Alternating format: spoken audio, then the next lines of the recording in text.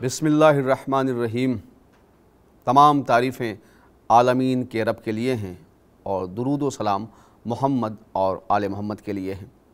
इस कायनात के रब ने इस ज़मीन पे सबसे पहले हज़रत आदम अलैहिस्सलाम को भेजा।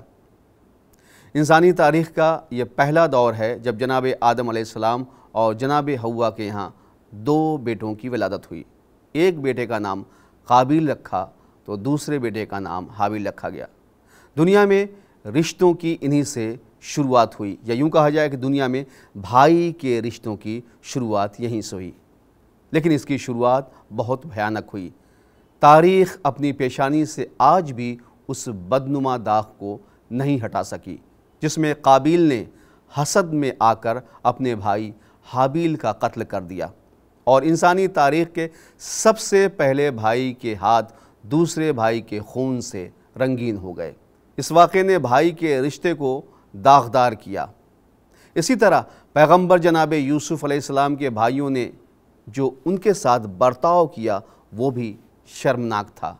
मगर क्या कहना, जनाब अब्दुल्ला और जनाब अबू तालिब की जाहो जलालत और मंजिलत का, जो एक दूसरे से इतनी ज़्यादा मोहब्बत करते थे कि तारीख़ जिस बात की गवाही दे रही है। लेकिन साथ ही ये भी एक हकीकत है कि इनकी इस मोहब्बत से इन्हीं का एक भाई अबू लहब जो बहुत ज़्यादा हसद करता था। हमें इसके बाद तारीख़ में एक भाई ऐसा भी मिला कि जिस पे भाईचारे को नाज है। खुदा जानता है कि चचेरे भाई होने के बावजूद मोहम्मद मुस्तफ़ा सल्लल्लाहु अलैहि वसल्लम और हज़रत अली इब्ने अबी तालिब में जो भाईचारा पाया जाता था, उसकी मिसाल ढूँढने से भी नहीं मिलती। भाई के लिए भाई ने जो कारनामा अंजाम दिया, वो तारीख़ में सुनहरे लफ्ज़ों से लिखा जाएगा। मगर तारीख़ में एक और शख्सियत है, जिसने भाई के रिश्ते का परचम इतना बुलंद किया कि आज भी उसके फरेरे की हवा दिलों में भाई की मोहब्बत की लहर पैदा कर देती है। वो भाई हुसैन इब्न अली के चहेते भाई सरकार वफ़ा हज़रत अबल अब्बास हैं। जनाब अब्बास की अज़मत के लिए ये कहना ही काफ़ी है कि शाहज़ादी कौनैन ने जनाब अब्बास को बेटा कहा है। जनाब अब्बास ने करबला में इतने सख्त हालात में अपने भाई के लिए जो कुर्बानियाँ दी हैं, वो नस्ल इंसानी में पैदा होने वाले तमाम भाइयों के लिए नसीहत की शमा रोशन कर रही है। किसी इंसान के दिल में वो जज्बा नहीं मिलेगा जो जज्बा अपने बड़े भाई के लिए ताजदार वफ़ा हज़रत अब्बास के दिल में था। शायद ये जज्बा मौलाए कायनात की उस तमन्ना की देन है जो हज़रत अली अलैहिस्सलाम ने, इमाम हुसैन अलैहिस्सलाम के लिए की थी। ये अनोखी और निराली तमन्ना थी, लेकिन हक़ की हिमायत के लिए तमन्ना की थी। लिहाजा कुदरत ने भी इस तमन्ना में उस वक्त चार चाँद लगा दिए, जब जनाब उम्मुल बनीन की आगोश में हज़रत अब्बास ने आँखें खोली।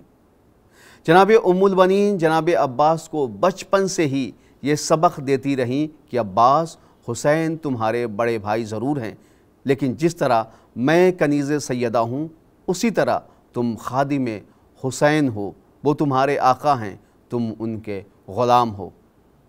ये बाप की तमन्ना और शहज़ादे अब्बास की फितरत ही थी, जिसने वो काम किया कि दिलों की हर धड़कन में इमाम हुसैन इस्लाम का नाम रच बस गया।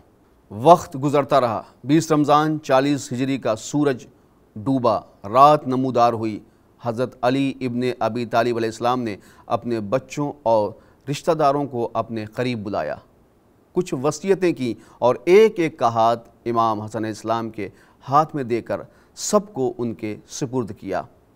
ये मंज़र मादर हज़रत अब्बास जनाब उम्मुलबनीन ने जब देखा तो आप मौलाए कायनात हज़रत अली इब्ने अबी तालिब के पास आईं और आपने फरमाया, ये वाली, आपने सबको इमाम हसन के सुपुर्द कर दिया, मगर मेरे अब्बास को इमाम हसन के सुपुर्द नहीं किया।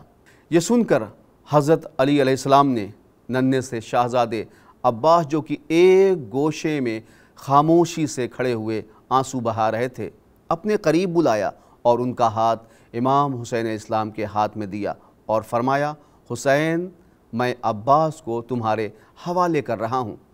करबला में जब तुम दुश्मनों में घिर जाओगे तो मेरा ये दिलेर बेटा तुम्हारी नुसरत करेगा। हज़रत अब्बास को ये एहसास हो गया था कि वो इमाम हुसैन सलाम के लिए ही हैं।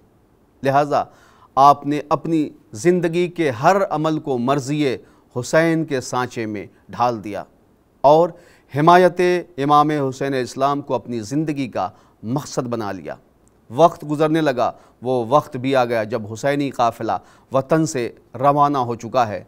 जनाब अब्बास साय की तरह अपने भाई के साथ साथ हैं। दो मुहर्रम को काफ़िला करबला पहुँच जाता है ज़मीन नैनवा पे वारिद हो जाता है। इमाम हुसैन इस्लाम ने करबला की ज़मीन ख़रीदी। जनाब अब्बास की निगरानी में फ़ुराद के किनारे खेमे लगाए गए। अभी कुछ देर न गुजरी थी कि यजीद की तरफ़ से ये हुक्म आया कि हुसैनी ख़याम फ़ुराद के किनारे से हटा लिए जाएँ। जनाब अब्बास की रगों में दौड़ते हुए हैदर खून ने जोश मारा, किसमें हिम्मत है जो खेमों को दरिया से हटाएगा। इमाम हुसैन इस्लाम ने इल्म इमामत से जलाल हज़रत अब्बास को देख लिया, लिहाजा खेमे हटाने का हुक्म दे दिया। वही अब्बास नामदार, अभी जिनके गैज़ गज़ब ने फ़ौज शाम की रगों में दौड़ते हुए खून को जमा दिया था, उसी तेज़ी के साथ आप खेमे हटाने में मसरूफ़ हो गए, जिस तरह से आप खेमे लगाने में मसरूफ़ हुए थे। इमाम हुसैन इस्लाम की इतात में जनाब अब्बास के इस अमल को दुनियाए शुजात क़यामत तक अक़ीदत व एहतराम की नज़र से देखती रहेगी। अगर जनाब अब्बास के इस अमल से लोग सबक लेने लगें तो भाई भाई में इख्तलाफ ख़त्म हो जाए। आशूरा का सूरज नमूदार हुआ, दुश्मन की तरफ़ से जंग का आगाज़ हुआ। सबको इजाज़त मिली, मगर हज़रत अब्बास को इजाज़त न मिली। इजाज़त मिली भी तो सिर्फ़ बच्चों के लिए पानी लाने की। अगर जनाब अब्बास को जंग की इजाज़त मिल जाती तो करबला की तारीख़ का उनवान ही बदल जाता। हज़रत अब्बास के जज्बात शुजात का खून हो गया। लेकिन आपका ज़मीर मुतमिन था कि जो किया वो आका हुसैन की इतात में किया। तारीख़ इस वफ़ादारी को भुला नहीं सकती कि जहाँ एक भाई ने अपने दूसरे भाई के लिए, यानी जनाब अब्बास ने इमाम हुसैन इस्लाम के लिए इतनी अजीम क़ुरबानी पेश की है। वो क़ुरबानी ये थी कि वफ़ा, आपने लफ्ज़ वफ़ादारी की लाज रख ली। ए सुलेमान वफ़ा ए ताजदार वफ़ा। जब भी दुनिया में वफ़ादारी का तस्करा होगा तो सर फहरिस्त आपका नाम होगा। इसलिए कि आपकी भूख तीन दिन की है, प्यास तीन दिन की है। फिर भी दरिया पे गए और आपने पानी नहीं पिया। ये वफ़ादारी थी कि मैं कैसे पानी पी लूँ? इसलिए कि अभी हुसैन के बच्चे खेमों में प्यासे हैं। यही वो वफ़ादारी है कि दुनिया के हर वफ़ादार को हज़रत अब्बास की याद दिलाती रहेगी।